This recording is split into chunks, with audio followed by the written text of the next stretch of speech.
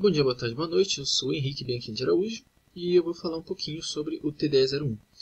É, o objetivo do TDE era conhecer melhor a ferramenta Quartus Prime e para realizar esse exercício eu utilizei a função fornecida pelo professor, que seria a 4, é, que seria essa função, e essa foi a tabela verdade montada através da função.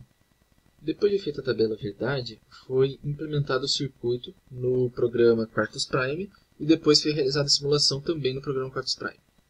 É, esse foi o sistema é, montado utilizando a função lógica fornecida S3 negado, SHORE S2, NAND S1.